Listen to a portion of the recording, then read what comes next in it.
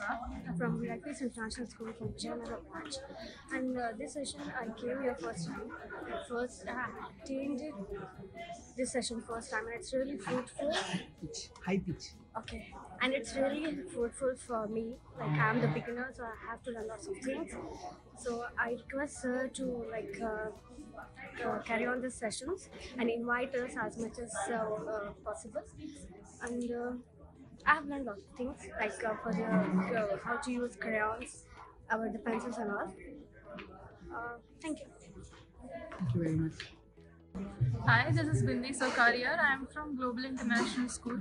Uh, today, first time I attended uh, Faber Castell workshop. Uh, I was very happy with that, uh, especially the artist who If any teacher is coming here to collect the showed uh, give a. The kit with demonstration was school very good.